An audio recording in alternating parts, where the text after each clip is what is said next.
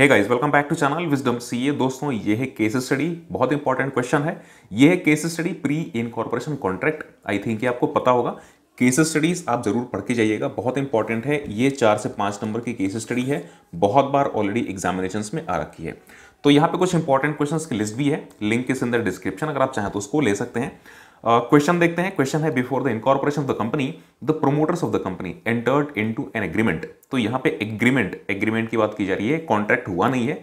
This is just an agreement with mister Jensen और यहाँ पे जो बात है ये है before incorporation of the company मतलब कंपनी के इनकॉर्पोरेशन के पहले की बात है।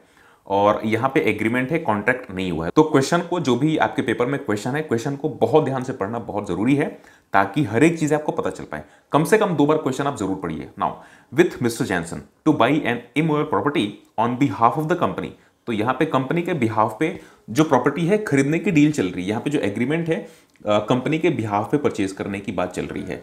After incorporation the company refuse to buy the set property अब जैसे ही कंपनी की इनकॉर्पोरेशन हुई तो कंपनी ने इसको परचेज करने से मना कर दिया। Advise mister Jensen whether he has any remedy under the provisions of companies act तो यहाँ पे अब इसका सोल्यूशन हम देख लेते हैं। किस तरीके से लिखना है, ये भी आप ज़रूर ध्यान में रखिएगा। तो यहाँ पे लिखा होगा as per section 15 and 19 15 and 19 of specific relief act 1963 तो यहाँ पे बात चल रही है स्पेसिफिक रिलीफ एक्ट 1963 की। सेक्शन है 15 and 19 company as well as the other party to the contract is bound by a pre incorporation contract if the following conditions are satisfied तो यहाँ पे कुछ कंडीशंस हैं। यहाँ पे सबसे पहला कंडीशन है इसको आपको पूरी तरीके से लिखना पड़ेगा। जो भी प्रोविजंस हैं सब कुछ आपको पूरी तरीके से लिखना पड़ेगा। सो so, यहाँ पे सबसे पहला है the promoters entered into the contract before incorporation तो बिफोर इनकॉर्पोरेशन जो कॉन्ट्रैक्ट है, इसमें प्रोमोटर्स को एंटर होना होता है देन यहाँ पे जो बी है the contract so entered is for the purpose of the company किसके लिए? For the purpose of the company मतलब कंपनी के पर्पज के लिए। Means the promoters entered in the contract on behalf of the propose company तो जो भी company बनने वाली है, जो प्रपोज कंपनी है, उसके बिहाफ पे प्रोमोटर्स को यहाँ पे कॉन्ट्रैक्ट करना है। Now the C point is such contract is warranted by the terms incorporation of the company means the contract falls with in any of clause content in the clause तो मतलब ऐसा नहीं है कि जैसे हमने इसके पहले भी केस स्टडी पढ़ी थी तो अल्ट्रा वायरस हो जाए।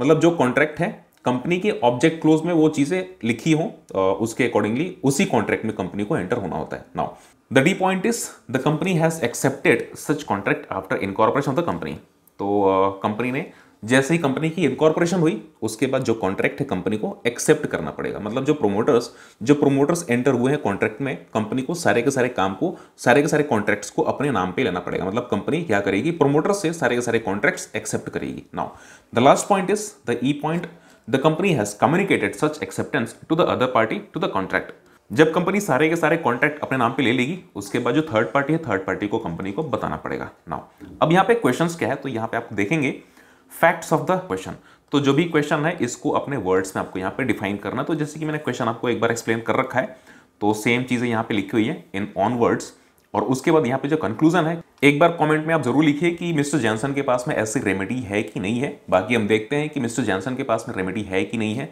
सो so, यहाँ पे लिखा है कि mister Jensen has no any remedy against company as pre incorporation contract is not binding on the company as the company was not existence when the contract was made तो यहाँ पे कंपनी क्योंकि existence में थी ही नहीं, इसलिए यहाँ पे किसी भी टाइप का कोई भी कॉन्ट्रैक्ट यहाँ पे नहीं बना हुआ है। If the company adopt the pre incorporation contract after incorporation अब जैसे कि सारे के सारे क्लॉजेज जो हैं तो कंपनी ने सारे के सारे क्लॉजेज तो कंप्लीट नहीं कर रखा है। जैसे कंपनी जैसे इनकॉर्पोरेट हुई तो कंपनी ने प्रोमोटर से उस सारे के सारे कॉन्ट्रैक्ट को अपने नाम पे लिया नहीं है। क्योंकि यहाँ पे क्वेश्चन में ऐसा कुछ लिखा नहीं है तो कंपनी ने ऐसा कुछ नहीं करा हुआ है इसलिए कंपनी कॉन्ट्रैक्ट में कोई भी पार्टी है ही नहीं। सो so, यहाँ पे लिखा हुआ है कि if the company adopt the pre incorporation contract after incorporation अगर कंपनी ने अडॉप्ट कर लिया होता in accordance with the province of section 15 and 19 of specific relief act 1963 then mister Jensen can have remedy against the company तो केवल अगर company ने accept कर लिया होता तो डेफिनेटली मिस्टर जैनसन के पास में रेमेडी होती but as per this question company ने अभी तक एक्सेप्ट करा ही नहीं है। तो अगर कंपनी ने एक्सेप्ट करा ही नहीं है तो कंपनी कॉन्ट्रैक्ट में पार्टी है ही नहीं। और यहाँ पे मिस्टर जैनसन के पास में किसी भी टाइप की कोई रेमेडी नहीं है। सो आई थिंक कि आपको समझ आया होगा कंप्लीट केस स्टडी है। यस yes, अगर आपको लिखने में कोई दिक्कत आ रही है, किसी भी टाइप में कोई दिक्कत आ रही है तो कुछ मॉक टेस्ट भी अवेलेबल हैं chapter wise mock test complete आपके लॉ के, जिसमें कि हमने सारा का सारा लॉ कवर कर रखा है चैप्टर वाइज मॉक टेस्ट तो अगर आप चाहें तो उसको भी एनरोल करा सकते हैं। कुछ अभी डिस्काउंट पे भी अभी चल रहा है कुछ दिनों के लिए तो अगर आप चाहें तो एनरोल करा सकते हैं लिंक उसका भी आपको मिल जाएगा जस्ट वीडियो के नीचे डिस्क्रिप्शन में। सो फ़िलहाल में कंप्लीट वीडियो है वीडियो शेयर कर दीजिए सब्सक्राइब कर लीजिए नोटिफिकेशन के लिए बेल आइकॉन भी आप ज़रूर कर सकते thank you so much have nice day